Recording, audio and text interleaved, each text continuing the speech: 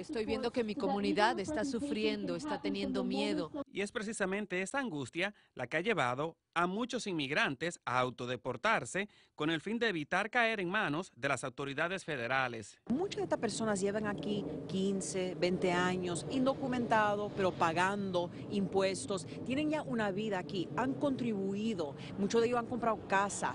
Esta historia se repite cada vez más tras la toma de posesión del presidente Donald Trump, quien según expertos ha ordenado aplicar de forma más agresiva las leyes migratorias, elevando el número de expulsiones y hasta de inmigrantes que deciden salir por voluntad propia de los Estados Unidos. Le dan mucho poder y discreción a los agentes de inmigración. Número dos, quieren revivar el 287G, que es una ley que permite que los policías locales entran en contrato con eh, los oficiales de ICE para que ellos reciban entrenamiento y poder comportarse como agente de inmigración. Según la Asociación Estadounidense de Abogados de Inmigración, unos 500 mil inmigrantes podrían ser deportados durante el primer año fiscal de la administración Trump, superando así la cantidad de deportaciones realizadas por su predecesor Barack Obama. Estamos viendo tantas deportaciones y, la separación de familias. Ya hay bastante evidencia eh, que esta administración es un desastre, es un caos total.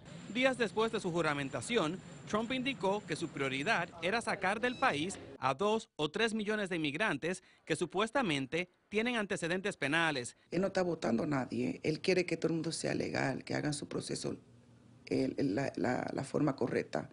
Parte del nuevo plan migratorio del presidente Trump exige la contratación de 15 mil nuevos agentes migratorios y oficiales de la patrulla fronteriza para ir tras los indocumentados. También dispone la construcción de nuevas instalaciones para retener a quienes sean detenidos.